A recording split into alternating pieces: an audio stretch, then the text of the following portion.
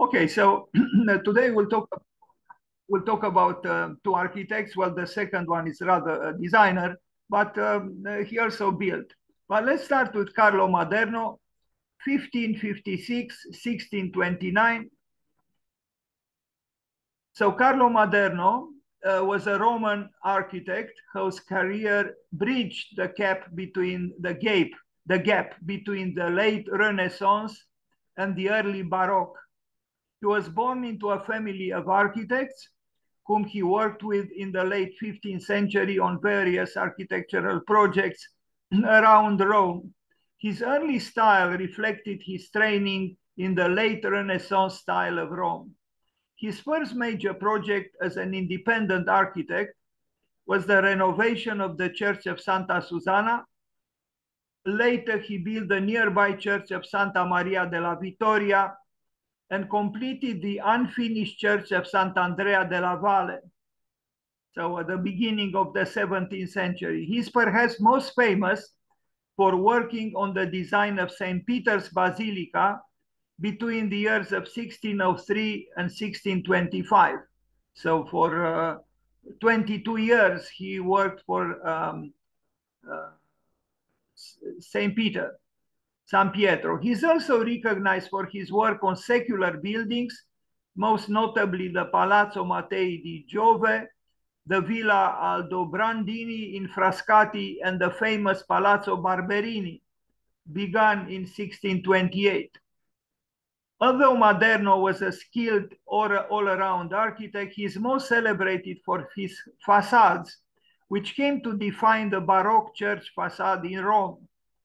Maderno drew inspiration for his facades from the famous late Renaissance Jesuit church in Rome, Il Gesù, which is characterized by a two-story facade, scrolling volutes that connect the upper and lower levels and the large triangular pediment at the top.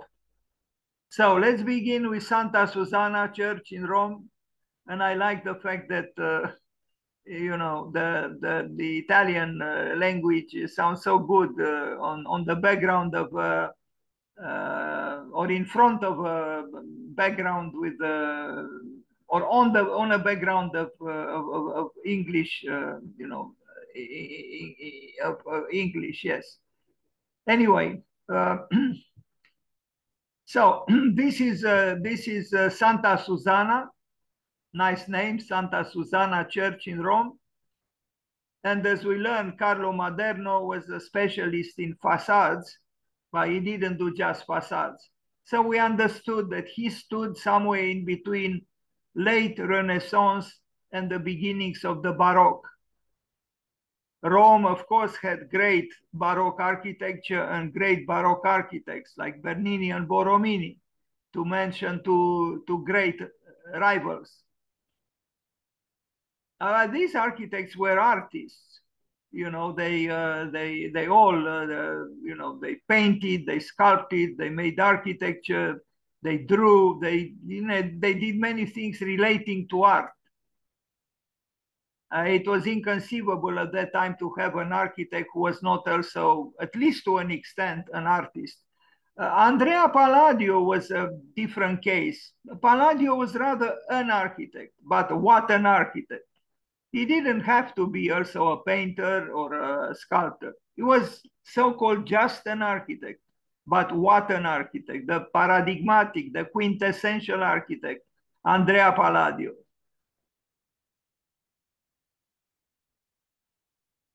But this facade by Carlo Maderno is not bad either. Um, so he was indeed a, a, major architect since he was, uh, you know, commissioned to work for 22 years or so for uh, San Pietro. And uh, for San Pietro worked Michelangelo, uh, Bernini, Raphael, and others. Initially, Bramante did a scheme, but was not quite developed, was not developed. And uh, Michelangelo did a plan for that had some relationship with the, the scheme proposed by Bramante. Then uh, Raphael made an, another scheme which was not developed. Michelangelo was, and then Carlo Maderno came in and uh, uh changed uh, uh, rather dramatically, but we'll arrive at, at, at San Pietro very soon. Santa Maria della Vittoria, Rome. Here it is, Carlo Maderno. Santa Maria della Vittoria.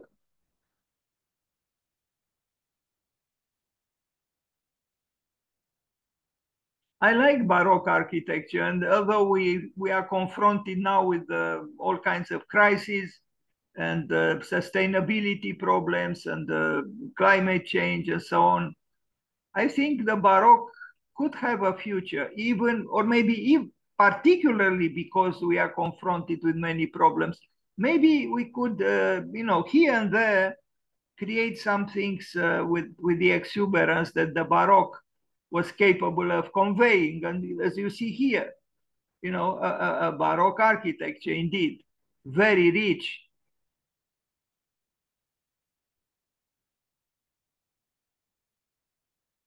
A, different world now. We, we, don't do this sort of thing any longer, but we uh, we acknowledge beauty in whatever form it shows up.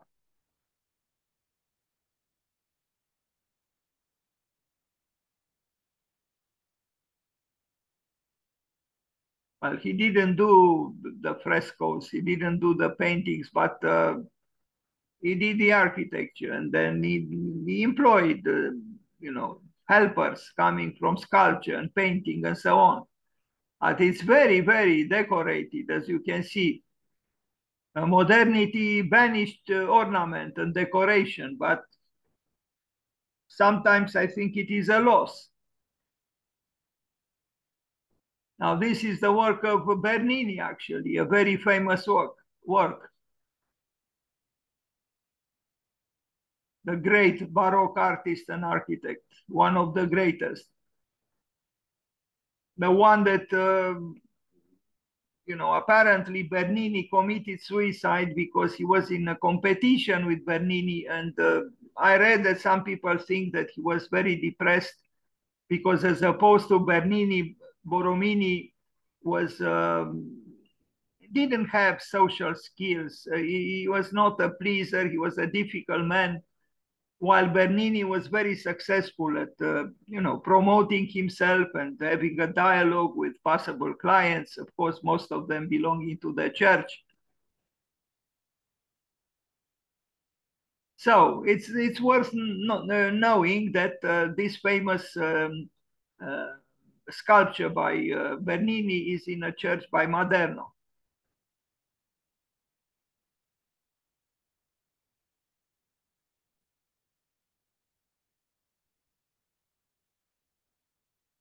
The riches of, uh, of Rome are uh, beyond words, really. In my opinion, is richer than Paris, Rome, and is older. And this is the, the great work by, uh, by Bernini.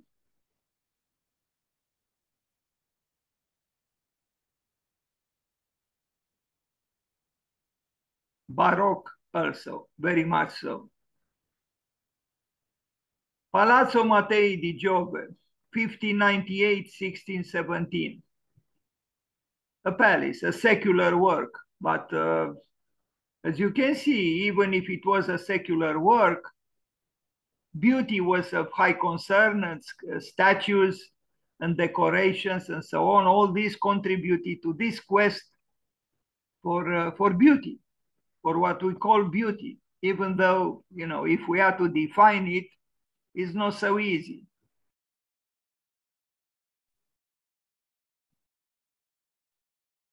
Outside the building is almost stern. It's still a, a Renaissance building. But the church on the right is, is Baroque, but the palace now, there is a difference, of course, because there are two different programs on the left, secular, on the right, uh, sacred. Interesting plan too, when you look at those uh, rooms that are, uh, you know, uh, at, at various angles. It's almost like a small city was it Palladio or who said it? That uh, I think Palladio said it too, but maybe other people said it too. That you know, uh, uh, a villa should be like a small city, and the city should be like a big villa. But you can extrapolate, and you could say, you know, the the room. I mean, you start with a small unit, the room, and the room is like the villa and the villa is like the street and the street is like the city and vice versa meaning the coagulation of the of the elements that compose a room um, um, you know a house a street or a cluster of buildings and then the city uh, that that coagulation is in spirit uh, and sometimes even in form uh, similarly, just the dimensions are, are different. But you could approximate that a building is a city. And vice versa, you could say that a city is like a villa. Well, a large villa. It's the relationship between the microcosm and the macrocosm. I wonder why these people, you know, they couldn't do without having, uh, you know, uh, bas reliefs, uh, sculptures, while while we cannot do with them. I mean, what architect today would employ, um, you know, heads of people or sculptures or uh, bas reliefs, although they are coming back there are attempts in this direction to bring back figurative art into architecture. And one example, extreme and uh, neurotical almost, as, as I might call him, is Mark Foster Gage, who is still a young architect and teaches at uh, Yale University in the United States. Mark Foster Gage. He's not the only one. Now, another villa, Villa Aldobrandini in Frascati, 1603, 1621. Again, Maderno, Carlo Maderno, who died on the 30th of, of January.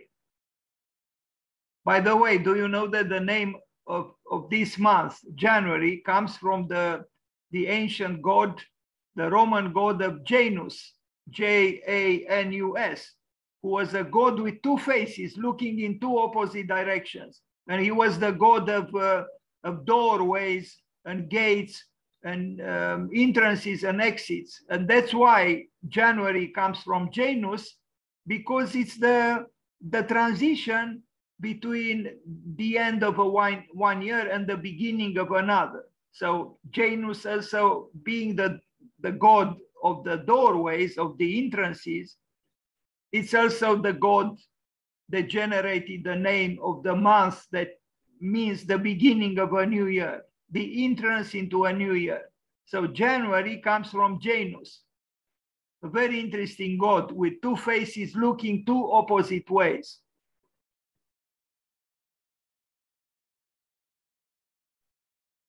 Some people live well. What can we say? Not everybody, of course, live like this. Very few.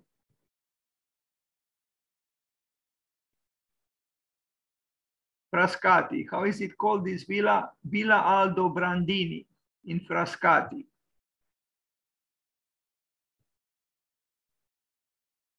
A big estate and then uh, riches over riches. What can we do? There is inequ in, inequ inequality, inequality, inequity. I don't know.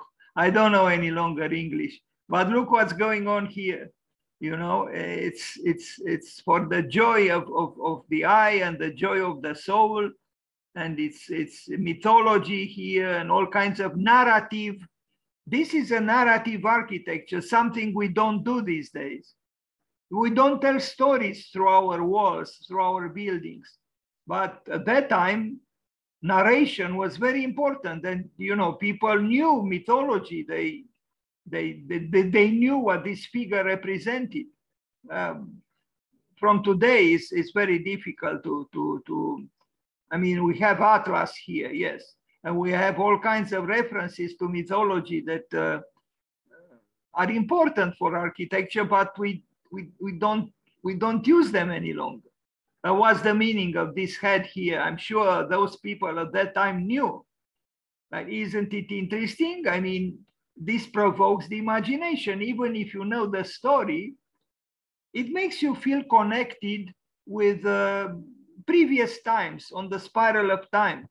That's why it's so important, I think, to be able to tell a story through your building and not just be concerned only with space, space and nothing but space, with white walls and nothing else, and functionalism. It's majesty functionalism. I, I, I, I started to hate functionalism because I think functionalism uh, uh, ruined architecture in the long run of things. And again, maybe Bernard Tschumi was right. Form follows fiction, not function. That's what he said. I love this photograph. I think it's very artistic. It's in black and white, but uh, it's uh, it's uh, it's a skillfully done uh, photograph. Nice.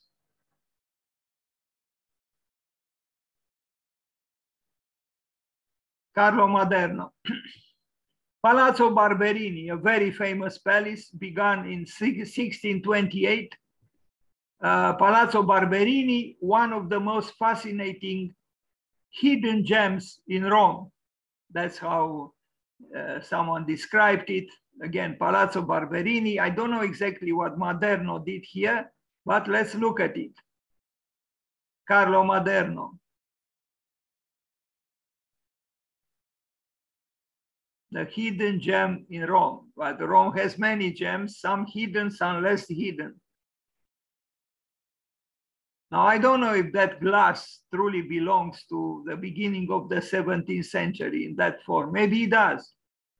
Maybe it doesn't. I don't know. Uh, the building is, and maybe he worked on the facade, Maderno. Did he do also the fountain? What about fountains? Why don't we design fountains? For example, a possible uh, provocation for the imagination of the students of the fifth year, no? A fountain with five sides, or the fountain of number five for Bucharest. But it could be for another city or town or even village, why not? Although losing water now is not so advisable because uh, water is precious and we consume too much water.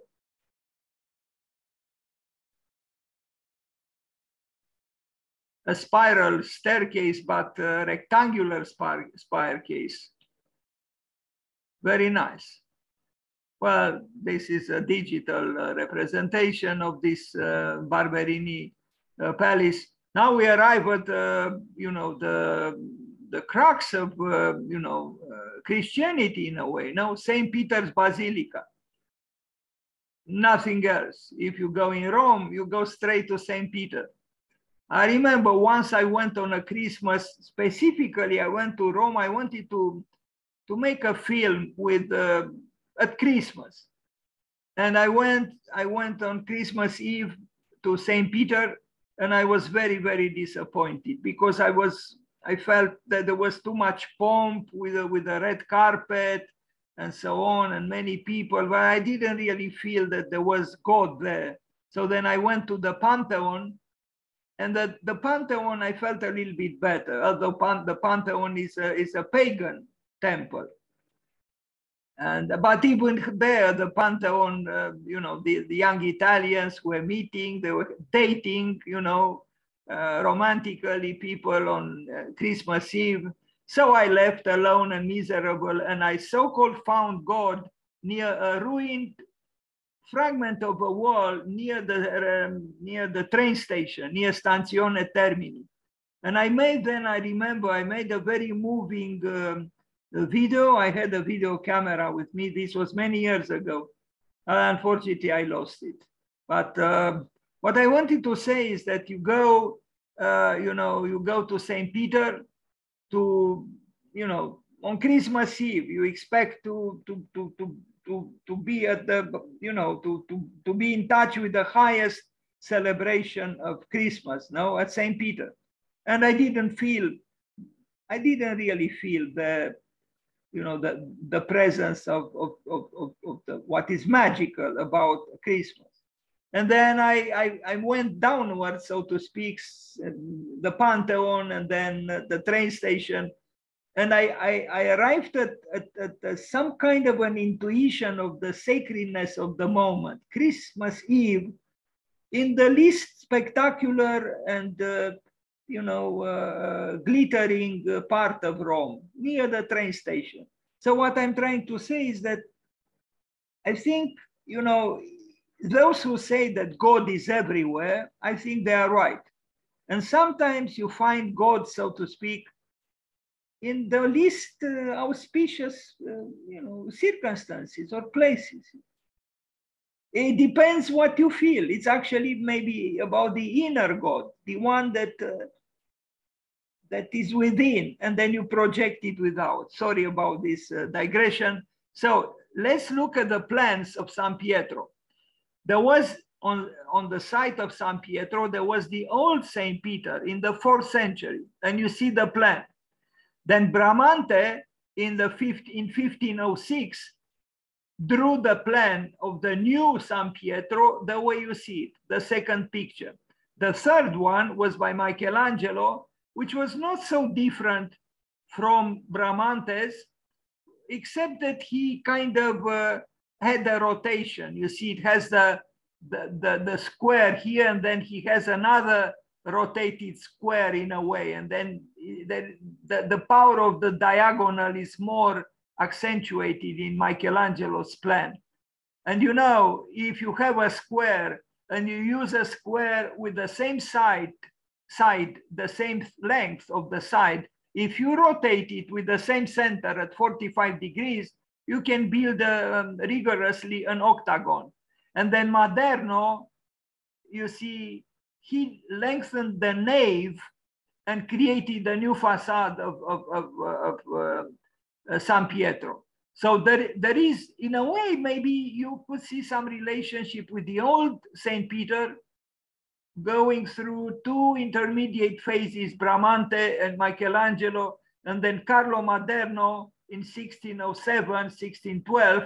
But you see, there are already more than 100 years since Bramante to Maderno.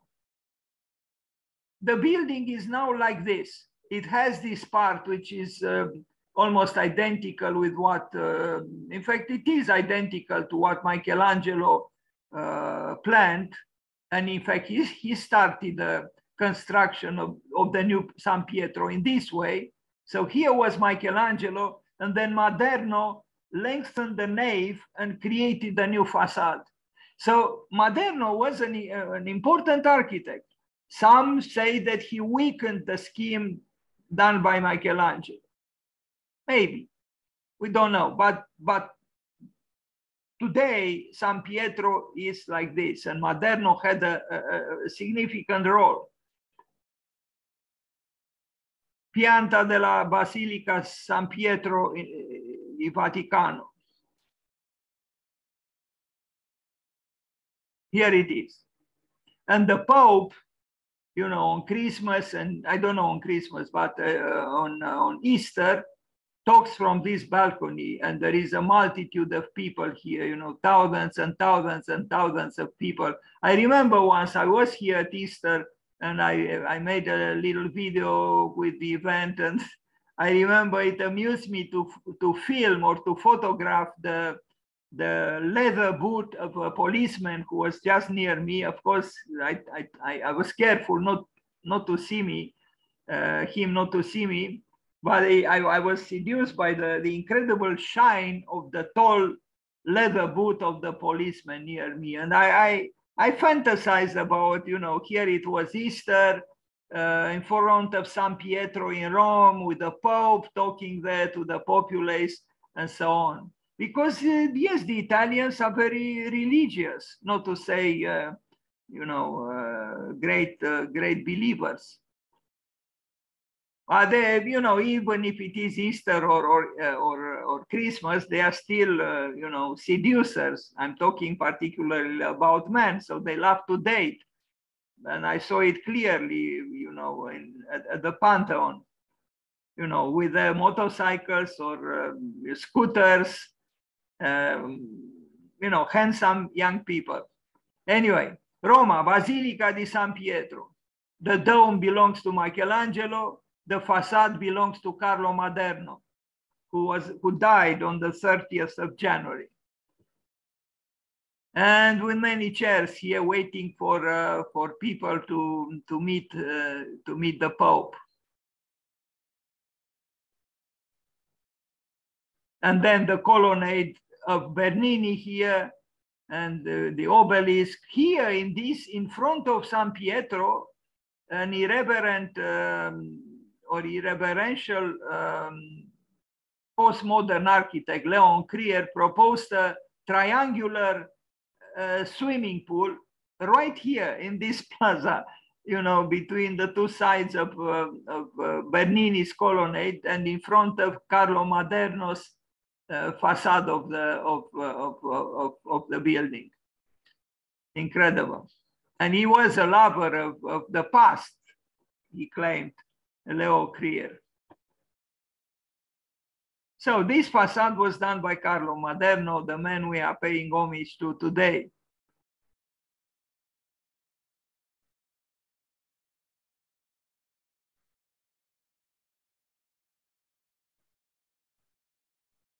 Architectural elements of the facade, balustrade, upper cornice, capital, bell room, parastas, coping, coping, uh, dripstone, lower cornice, the frieze, the architrave, capital, shaft, and base.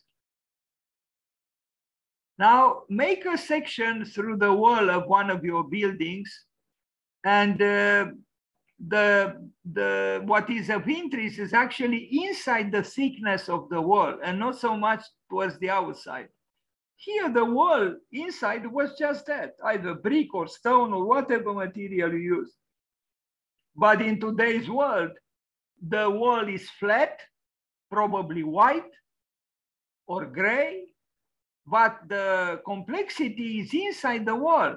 The sandwich with uh, insulate, isolating insulation materials, with uh, all kinds of sophistication, there is inside the thickness of the wall, but towards the outside, we have almost nothing. Mostly a blank white or grayish wall.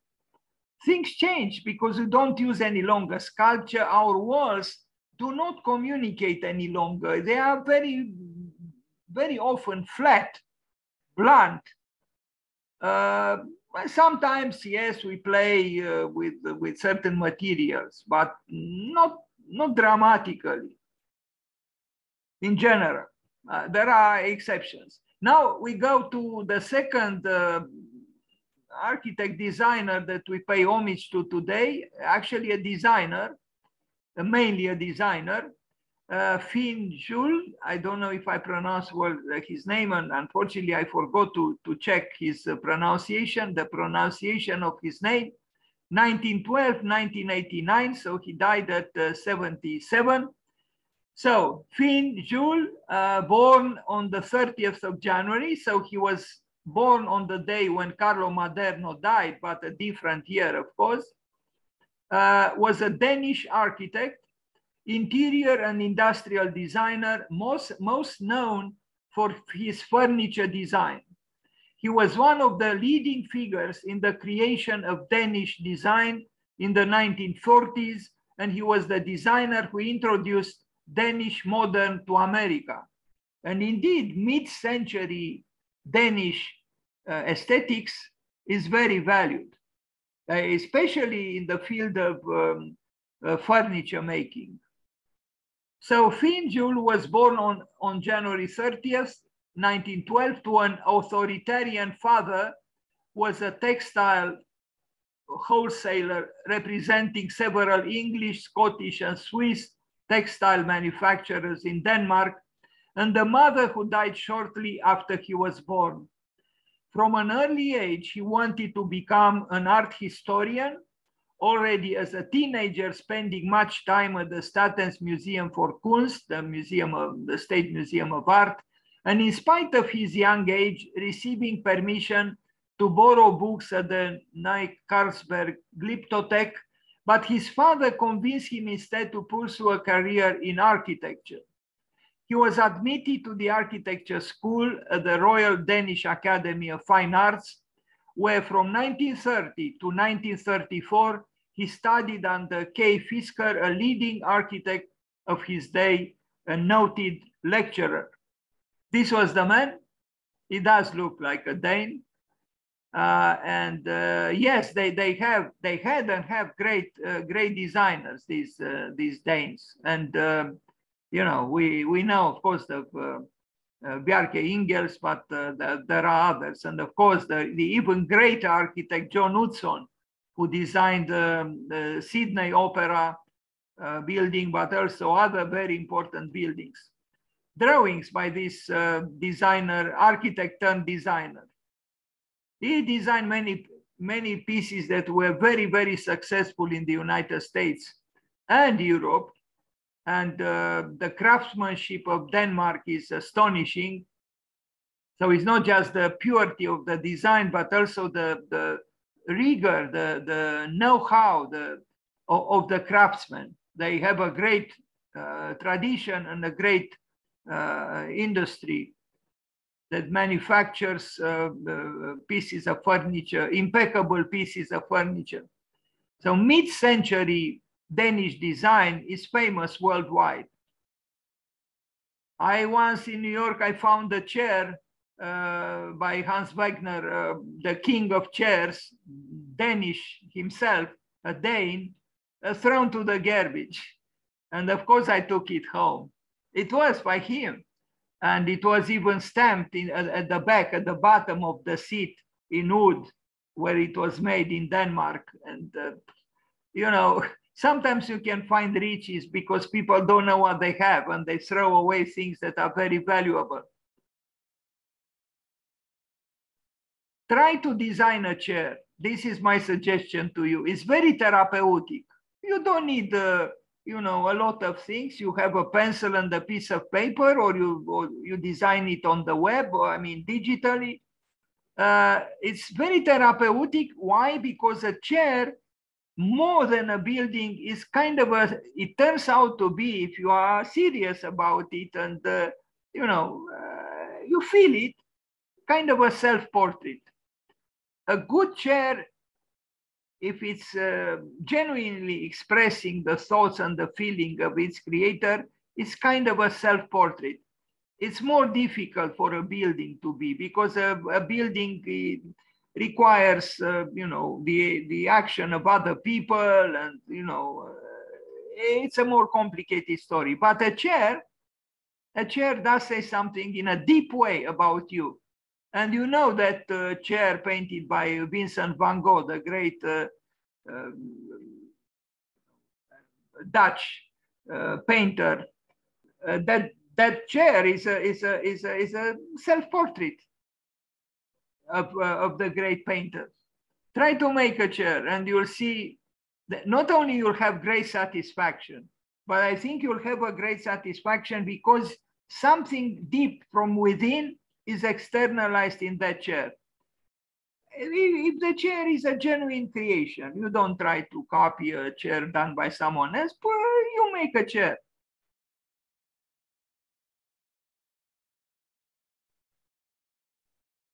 And most modern masters designed chairs, and not only chairs.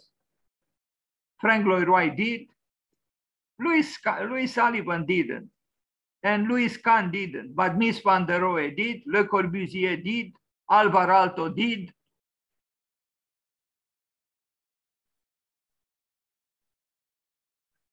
It's a very interesting problem how to make a chair, you know, because it seems simple. But to make it aesthetically pleasing and to make it, uh, uh, you know, uh, a novel thing, a new thing, and to make it also comfortable, it's not so easy. Now, the, his own house in Denmark uh, is uh, shown in the following images. I, I like this house. It's very simple, but it has sophistication and uh, you know it's very unassuming. It's not a house that screams at you, "Look at me." No, but you can see that it's well designed. It's it's it, it, there is a distinctiveness here. It, it has some dignity, but not a not an alarmingly you know uh, uh, opulent, if I can say so, dignity. It's, it's a modest dignity. And I think the Danes are very good at this in general. Well, Bjarke Ingels is an exception. But in general, they are very reticent and, uh, and uh, they do quality work, but they are not, they don't provoke, generally, the Danes don't provoke uh, scandals this irritated the great Danish philosopher Søren Kierkegaard, who was complaining that, uh, you know, it's very difficult to be exceptional in the Danish culture, which is a culture of the majority and you cannot stand out. But since Søren Kierkegaard's time, things change. So today we have Bjarke Ingels and his big office. I mean, the very fact that he called it big is, is, is a betrayal of what, uh, of the pattern described by Søren Kierkegaard. I like this house with its simplicity.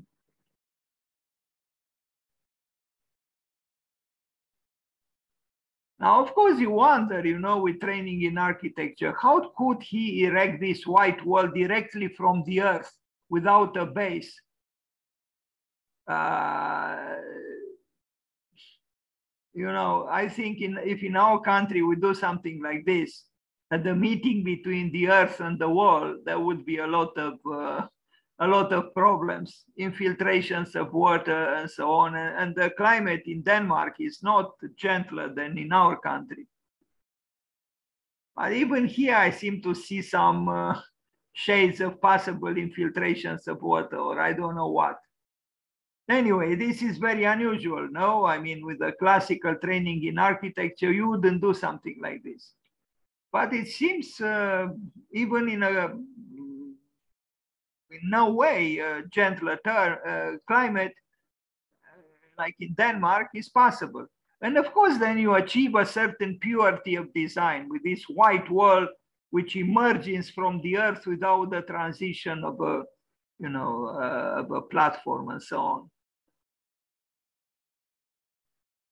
a sitting house. I, I, I read it and I hope I have images from the inside that his skill as an interior designer is more shown at the, at the interior of the house. But the exterior too, and I think he modeled here, he was dealing with an existing house and he just uh, refurbished it and transformed it, extended it too. Now look at that beautiful tree against the white wall of the house. Very, very nice. Uh, you see, with simple means, you can do sometimes wonders. If, if you are sensitive and uh, you listen to the nature that you are, uh, you know, uh, positioning your building in, and the interior. He probably designed also the, the, the seats, the, the armchairs,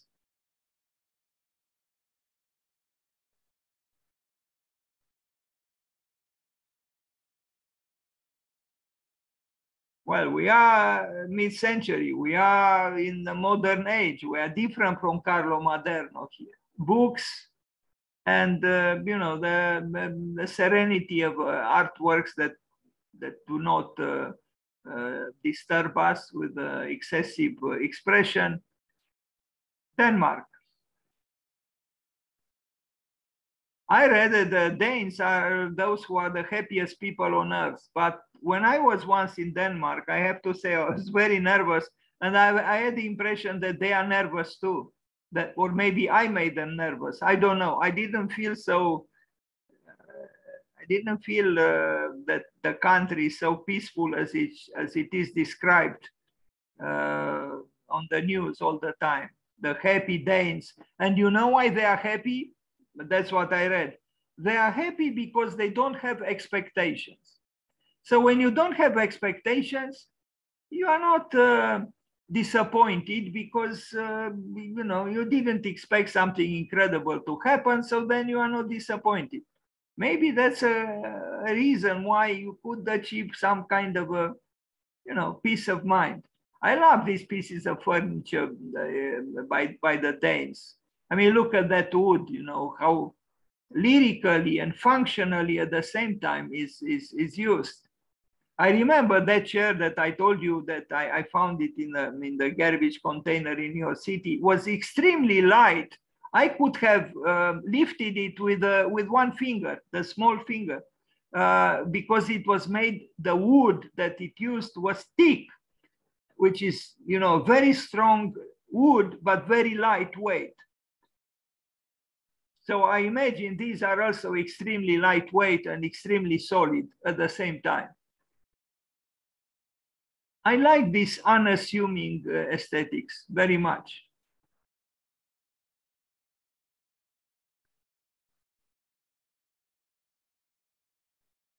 Denmark, a great country, and uh, I think they are only uh, they only have five million people, so almost a quarter of the population of Romania. This is a summer house uh, from 1950, but no picture. I couldn't find picture, sorry. And now Finn Juhl at the beach. A rarely seen beach house. Maybe it's this one though, probably. Some, yeah, it's a summer house, sorry. Um, a rarely seen beach house by Finn Juhl on the rugged northern coast of Denmark shows the architect's genius for holistic design in a new light. The simple house cast a spell over the owner who embarked on a renovation project that honored Jules rather than worshipped him, making a livable holiday home, not a temple. And indeed, this seems to be very typical for, for the Danes, for Denmark, making a livable home, but not a temple.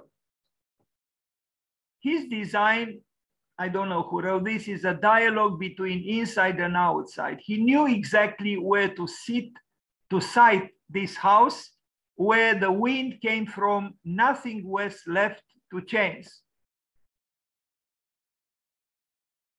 Maybe we can call his approach a function, a, a lyrical functionalism or a functional lyricism. It is indeed very nice. And yes, it is possible with simple means to do a lot. Although I am, you know, all the time carrying on a, a fight with the T-square and the rectangle, the truth is we can make quality architecture also with the T-square and the rectangle. It's possible, and we have an example right here. And I like oblongs, and I think oblongs have a great potential in architecture uh, in present times who don't use oblongs, but they are very useful. You filter light, you banish noise, uh, and even aesthetically, the, the oblongs uh, create a movement on the facade. I like them very much. Too bad that if you make them of wood, you have to cut down trees.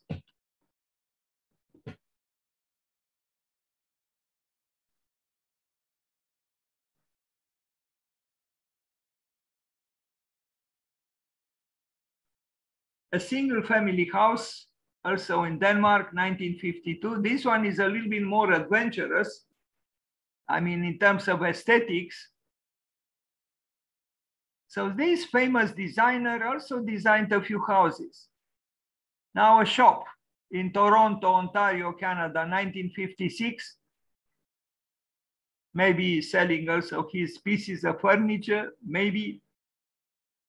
They seem to be Danish but I don't know if by him. Uh, another summer house, 1962. Now this seems to be a little dated, now mid-century, mid-20th century, it's true. But I'm sure the quality of life inside this is, is high. Even if it's not so-called spectacular towards the outside. I remember if you want to see one of the greatest films, the greatest movies ever made, I, I recommend to you, I suggest to you to watch Persona, P E R S O N A by Ingmar Bergman. A Swede, in my opinion, the greatest film director ever. Although he saw that Andrei, Andrei Tarkovsky was the biggest, uh, the, the, most important uh, film director, but it's difficult to make these hierarchies. Ingmar Bergman was great, and, and, and Persona is a beautiful film that, that was filmed inside his home um, summer house. I, I don't even know if it was just summer house. It was the house where, where Ingmar Bergman lived, and uh, similar kind of with what we see here. Try to watch uh, Persona, a beautiful film, truly one of the best films ever made. And you'll see also the house of Ingmar Bergman, and you'll you'll you'll be reminded of, of this house perhaps uh, from this presentation.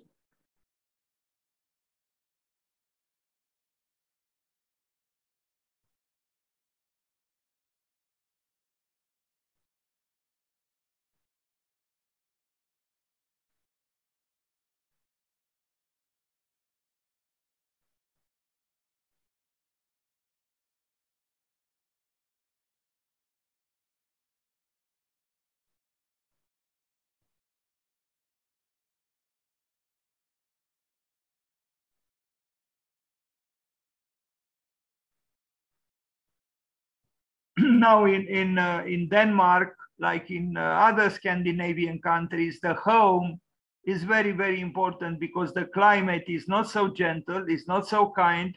So the home is there where you warm yourself up, where you find intimacy.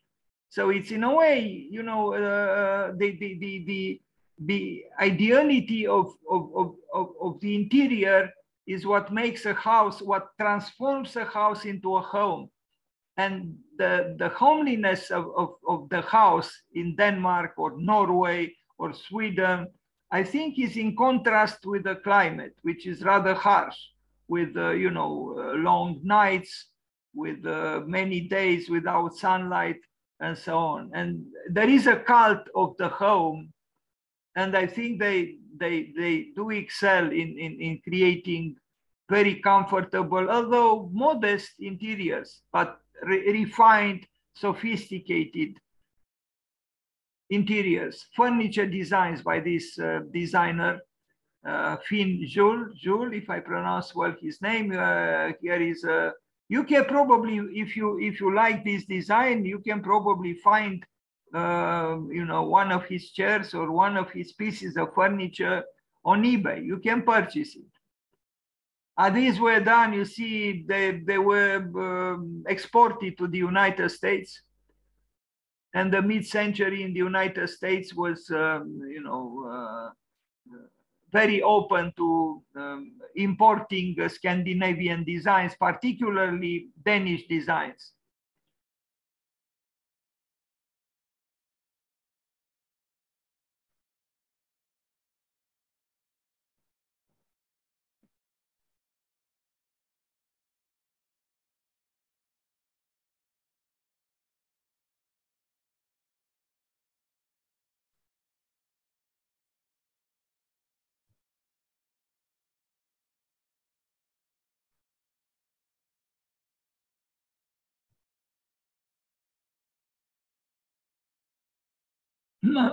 beautifully crafted. What else can I say?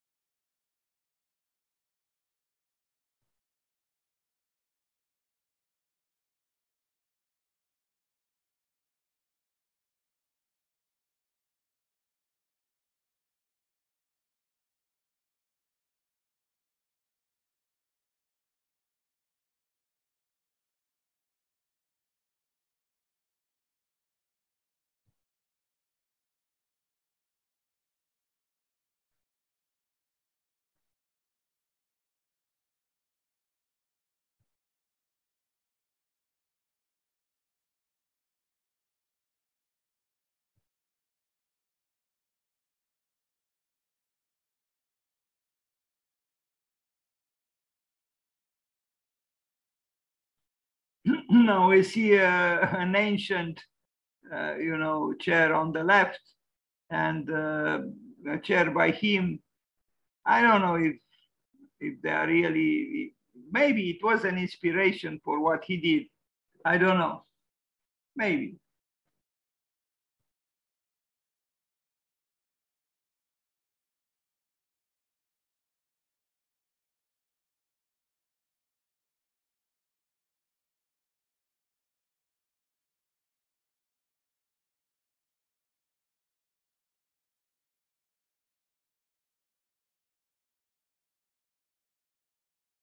A good architect can do object design, can do urbanism, can do everything.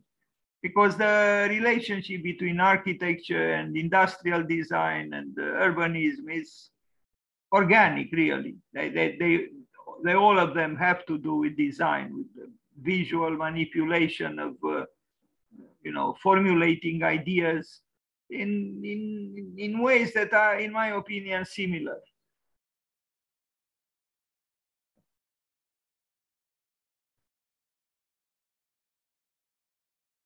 Interesting piece. That's it. So let's wish him happy birthday and let's uh, mourn uh, the death of Carlo Maderno. And that was it today. Thank you very much.